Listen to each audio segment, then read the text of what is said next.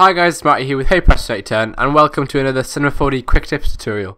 Alright, so in this tutorial, I'm going to be teaching you how to switch between cameras using a stage, okay?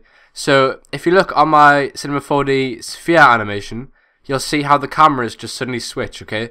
And um, this will show you how to actually do that without rendering different files, okay?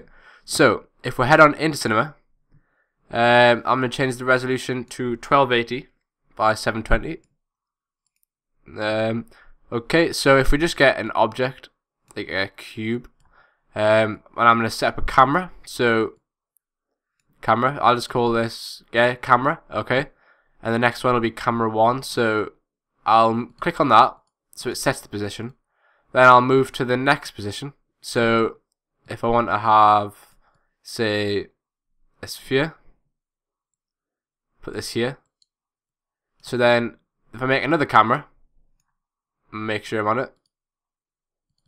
Um, if I move to the new position, like this, and if I want to create another camera, so this is a third camera, make sure I'm on it, and move to the third position. Okay.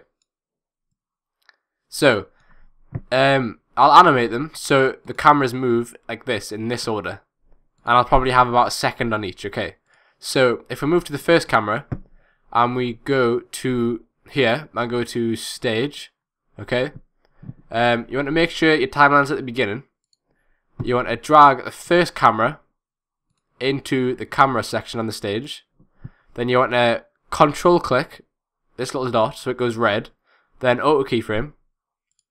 If we move to 30 frames, this is one second, okay? So in the first second, I want uh, just the normal camera. Then if we click off this and we drag in the second camera into the stage and replace the other camera, then repeat it. So we uh, control click this, auto keyframe. Then I'm going to move to 60 frames and click off. Then I'm going to get the third camera, drag that in. Same again, control click, auto keyframe, and drag this to 90 and click off. If we go back to the beginning, you'll see that all the cameras switch exactly on the keyframes. Just like that. Alright, so thanks for watching.